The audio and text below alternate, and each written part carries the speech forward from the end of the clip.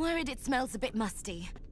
It's been a while since I've had to look presentable. It's really only 1%. Uh, Serious business about fighting for the freedom of the universe?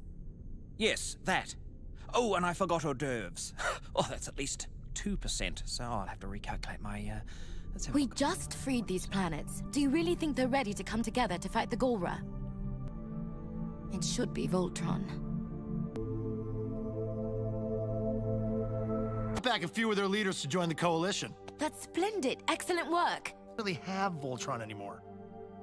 But it is time to think about finding a new pilot for the Black Lion.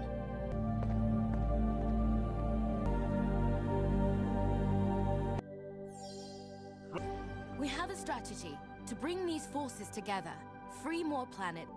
But without your help, it will be impossible. Excellent. Can they form Voltron now? Uh, well, We can't.